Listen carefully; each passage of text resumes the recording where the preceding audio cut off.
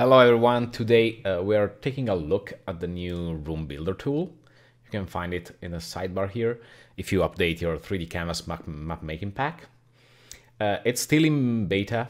Uh, I probably want to add like some extra feature, but we're gonna see just like the basics how the tool works.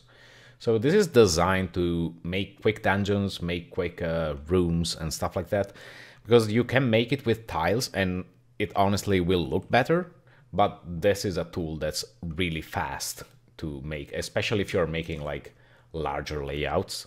Uh, this is very fast. So we can see the panel here. We have three build modes, add, subtract, and the knife tool. And then we have the rectangular ellipse shapes. Here we have a theme. And here you can select your custom theme. So you can select the texture here and set this to custom. And we'll use your own theme.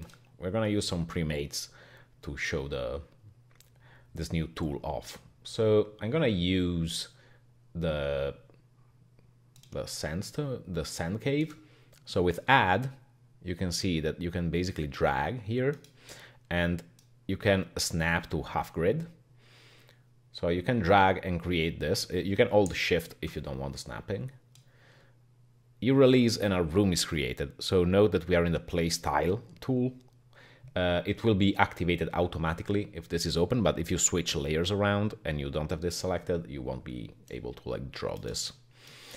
So after we have this, we can add more to it. So I'm not gonna pay attention to the grid that much since it's just like an example here.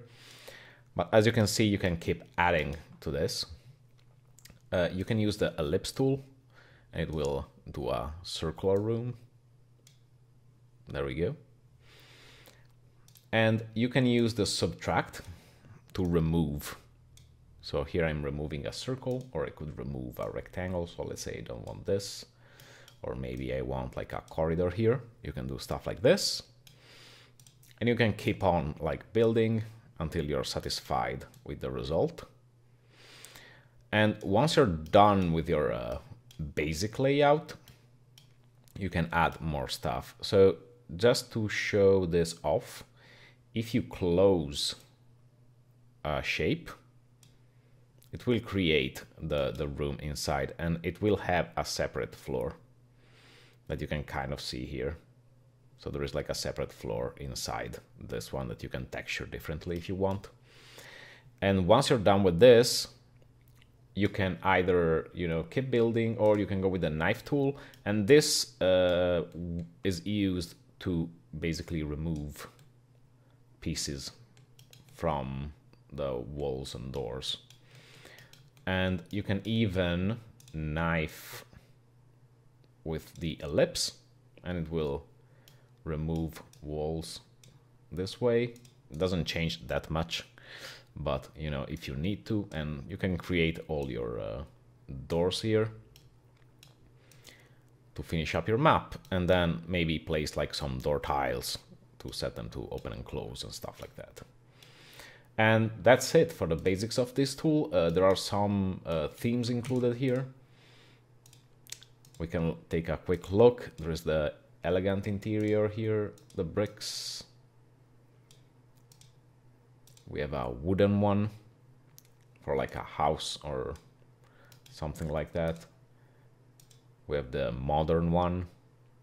You can of course create your own setup. I plan to expand with a, a bit more themes as soon as I have uh, some extra time, probably enlist some help. So if you find a good combination that could be added to the themes, uh, feel free to send it over and I will gladly add it in. But yes, this is the tool. I hope you enjoyed. It. I hope you can make your uh, dungeons uh, way faster with it and I'll see you next time.